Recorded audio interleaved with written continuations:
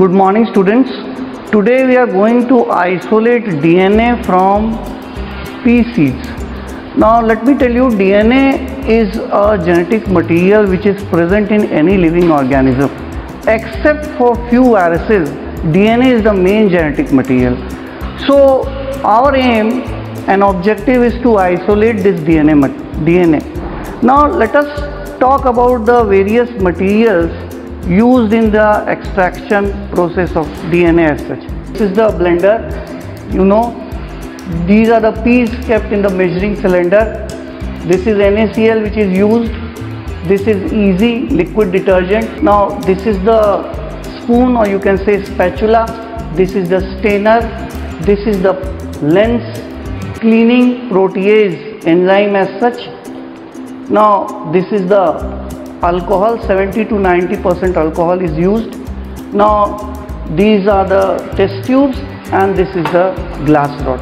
So these are the required material as such. So now let us start with the procedure part. Now as you can see these are the peas kept in a cylinder. This is about 50 ml you can see 50 ml. Now you have to take water approximately twice this level.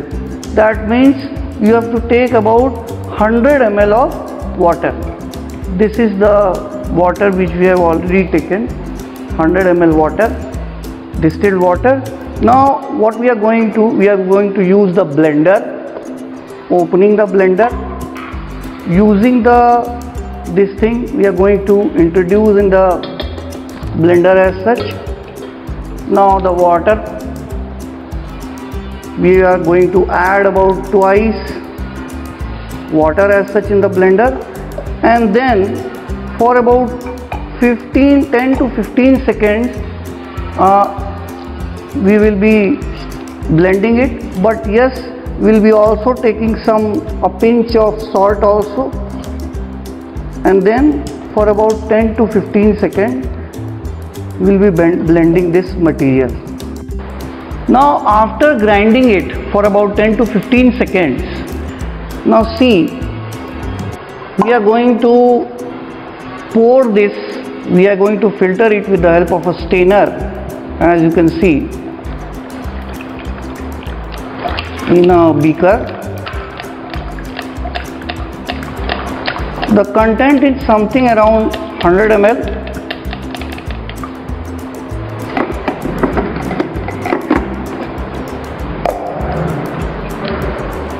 okay? Now this is approximately we are going to use Ezee liquid.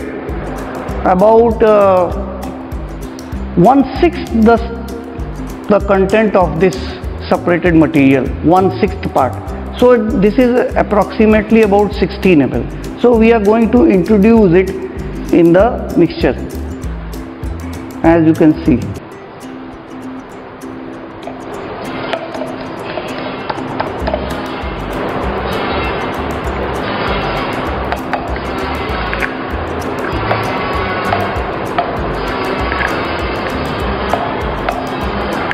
now our next task is to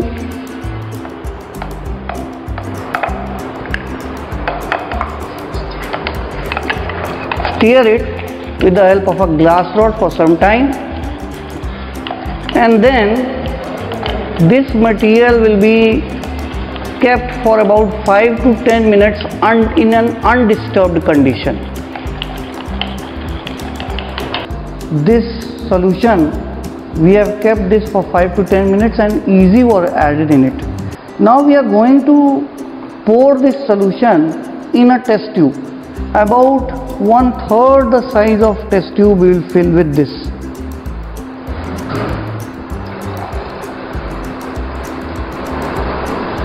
As you can see. Now after this we will be adding small amount of protease about 2 to 3 drops of protease enzyme. You can see this is a contact lens cleaning solution which contains protease enzyme.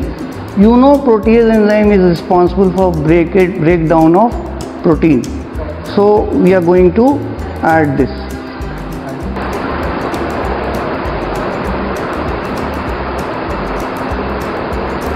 Just 2-3 drops and then we are going to stir it for very uh, smoothly we are going to stir it. Because if we are going to stir it with very hard that can break the DNA uh, fibers so care has to be taken to stir very lightly as such as you can see. Okay. Now we will be adding ethyl alcohol 70 to 90 percent in order to precipitate the DNA so now let us slant slight slanting is necessary and then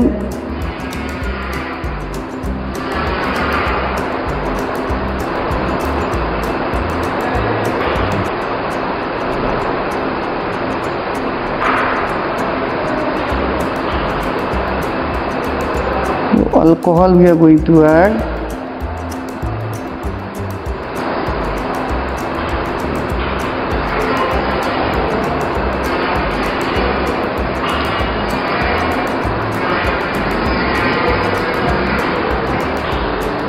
See this white band you can see over here. This represents the DNA just above the green part you can see this white part this is actually the DNA which is present over here.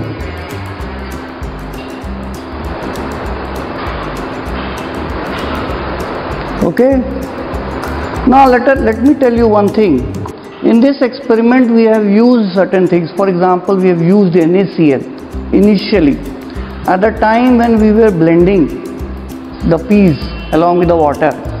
Now the work of NaCl is to emulsify the protein and fat present in the peas. Moreover, we have used detergent solution. It is also responsible for emulsifying the fat present in the solution. We have used protease in order to separate the protein and we have used ethanol in order to precipitate the DNA. Since you know that ethanol is soluble in water, it can be used in order to precipitate the DNA. I hope you have understood the experiment. Thank you very much.